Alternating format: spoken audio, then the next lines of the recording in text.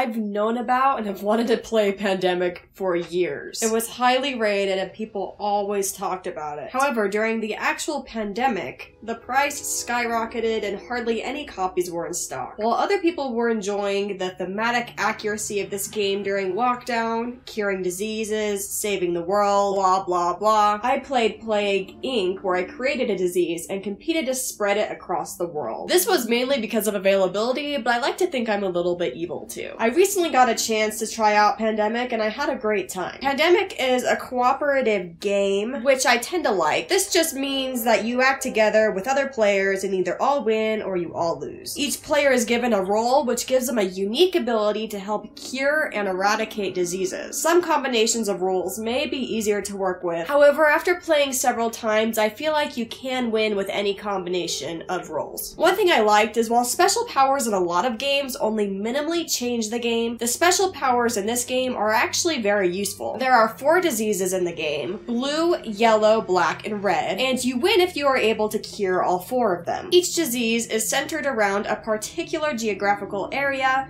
but they can technically spread beyond that area if there are enough outbreaks. An outbreak basically is when an area is so overcome with a disease that it spreads to all adjacent areas. If eight outbreaks occur in the game, you automatically lose. In a turn, a player can take up to four actions. You can choose to move to another location, you can always move to an adjacent location, while you also have the ability to discard a card to move to a more distant location, or you can move between research stations. Oh yeah, so research stations are really important because they're the only location where you can cure diseases. At the beginning of the game, you get a research station in Atlanta. However, as an action, you can choose to build a research station by discarding a card matching the city you are in. You can also choose to treat a disease. To do this, you remove one cube from the city you are in if the disease has already been cured, you can treat all of them very easily. You can also use an action to discover a cure. To do this, you go to a research station and discard five cards that match the disease you are curing. To help with this, you have the ability to use the share knowledge action where you can give or take a card from another player. In this way, generally one player might try to build up the blues and another the reds, another the yellow, so on and so forth. Once a disease has been cured, it still needs to be eradicated, which can be done by treating all remaining cases on the board. If that occurs, the disease is basically gone forever. After taking all four actions, a player takes two cards from the player deck. Most of these cards are city cards, which you can use later to travel around or cure diseases.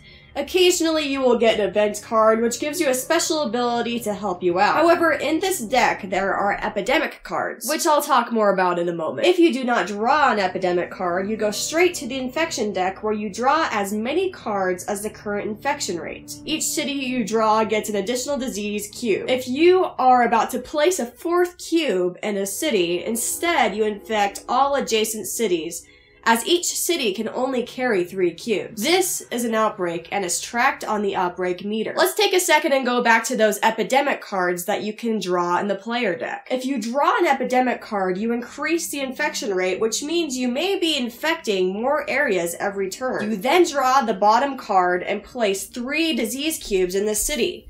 This may or may not cause an outbreak.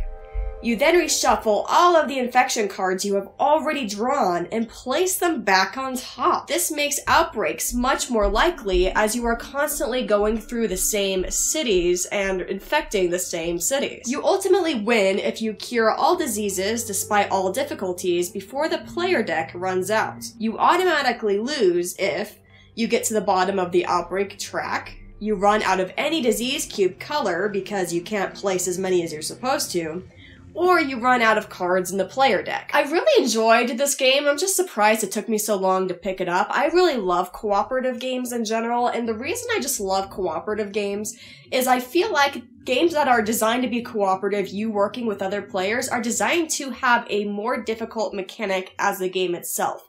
Because it's basically like you're fighting the game, so the game usually has its own engine builder almost, or something that goes on that's really hard to beat. Now with this one, I will say that I think it's easier to beat than most cooperative games, which makes it a very great family weight or intro to cooperative. In my first week of playing it, I believe I played it like six times because it's pretty quick to get through once you know the rules. And I think I probably won about half of those times, which compared to a lot of other cooperatives I play is actually a fairly easy game in a way in that you win half the time. But with that, I actually really like that with this because it's really easy to bring to the table with people who aren't used to those really nitty gritty hard cooperative games and can be enjoyable because you actually often have the chance of winning. I kind of have a funny story about this actually. So at the beginning when I was playing this game, I did not know that it was considered a win if you cured all four diseases. I thought you had to cure all four diseases and eradicate every single disease on the board to where there was not one cube remaining. And I thought this game was like impossible, and I was so confused because I thought it was supposed to be more like that family weight. That's just kind of like fun. You're you're likely to win, and I was getting devastated. And then I went back and realized that I had been winning a lot, so it was kind of funny. So uh, hopefully no one else falls into that when they start playing the game. I also really enjoyed how different this game felt when you were playing with different roles. Every time I played, I think this might be in the rules, but I'm sure you can just do whatever you want. Uh, I assigned out the roles randomly, so we didn't know what we'd be getting and we didn't know who we would be playing. And I got to try out maybe four different ones because I got to repeat once or twice. And every single time I had a different player power or role, the game actually felt drastically different because it changed everything that I did. And as I mentioned earlier, lots of times like player special powers or roles don't have a big impact on the game. And I really loved in this one how your profession that helped with the pandemic really changed the movements you would make on your turn specifically. I just really like that. More on the doom and gloom side, I actually loved how drastically this would pick up. You would have one turn where you feel like you have everything under control, by the next time, the next round through player turns, you might feel like you are going to lose no matter what. And a lot of this has to do with the epidemic cards causing outbreaks and reshuffling everything and putting the same cards you already drew up on top to where you're constantly in the state of worry, panic, and you don't know if you're going to be able to figure it out. And I just love that mechanic of how quickly it can go from having everything under control to blowing up. Um, yeah, I like that. so, having played this now, I really do think this is one of the best introductory or family weight cooperative games on the market. And this is really exciting to me because I know there's a lot of different pandemic games out there. So if you are a huge fan of Pandemic and all of the other games that come in this, what do you call it, franchise? I don't know.